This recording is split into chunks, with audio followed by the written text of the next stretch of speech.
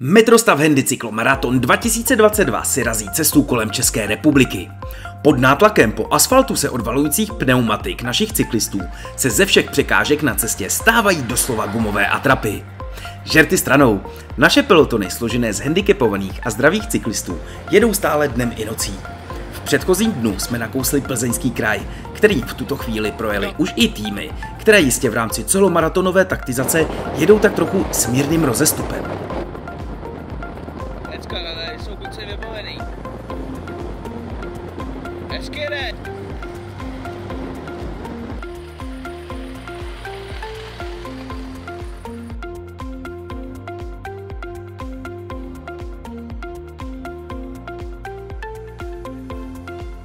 Peloton naděje pokračuje stále ve svém tempu. Reprezentuje totiž naší společnou myšlenku a šíří naše společné dobro. Jedou sice po zkrácené, ale stejně tak zásadní cestě. K pelotonu naděje se i v tomto ročníku vždy na několik desítek kilometrů přidávají dobrovolní cyklisté, kteří chtějí alespoň na část dne podpořit celou myšlenku 111. Nad ránem eh, potom vlastně během dne přestalo, eh, počasí se vylepšilo, ale kaluže v těch, na těch cyklostezkách zůstaly, eh, bylo tam dost bahna, ale teď už je zase krásné počasí a strašně si to užíváme. Po kolikátý jedete? My jedeme po, dru, po druhé, náš tým, Smajlíci, a Takže- strašně se nám to líbí, takže si myslím, že budeme každoročním účastníkem. Skvělý. Tak vy už máte teda zkušenost jako z Loňska, takže máte třeba vymyšlený, jak sušit věci a takovýhle jste připravený. No, loni jsme měli to štěstí, že nepršelo, ale nicméně letos už eh, jsme vychytali ty chyby, že nejezdíme všichni dohromady, rozdělili jsme se na dvě, eh, na dvě auta a pravidelně se střídáme po 12 hodinách. Takže je čas i na odpočinek. Jezdíme pro malou dvouletou Elinku, která je na vozíku a eh, naše, naše manželky udělali kamínky, na, na, na které napsali 2222 km a pro Elinku eh, je tam i kontakt, dáváme na každé, na každé rozhodně necháváme letáček s vizitkou i s tím kamínkem.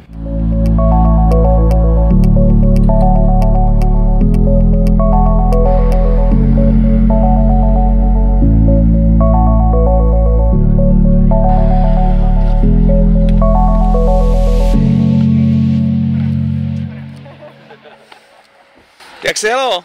No, docela dobře. Taky se, taky se pochlup, kolik ti je, kamaráde. Dopuju se takovýma prostředkama, no tak 73 něco, no, Pohoda, tak to zase tak zlý ještě, no. Párkrát to ještě dám. To je super. A kolikrát jste jel už? Eh, Už jsme tady po čtvrtý. Teď jsem po Po čtvrtý, čtvrtý, po čtvrtý už, no. A tak ještě třikrát počítám, že by to mohlo být.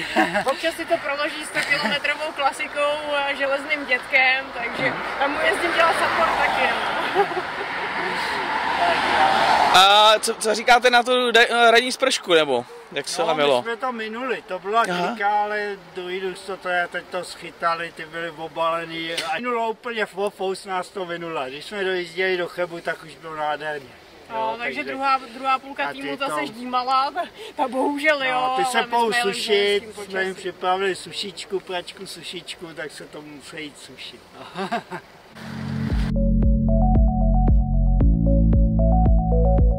V plzeňském kraji bylo potřeba se zastavit na rozhledně v Čermné, která byla povinná a stejně tak museli naši jezdci sáhnout na chvíli po brzdách u rozhledny Chanovice.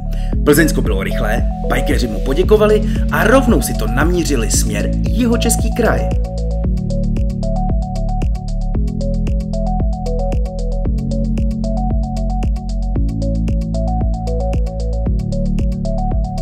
Jeho český kraj uvítal svými vršky naše pelotony bez jakékoliv skromnosti. Výhledy měli cyklisté doslova splendidní. Na jihu bylo pro všechny účastníky maratonu potřeba se zastavit na Klostermanově rozhledně a taky se nadechnout chvíli bez točení pedálů na rozhledně Semenec.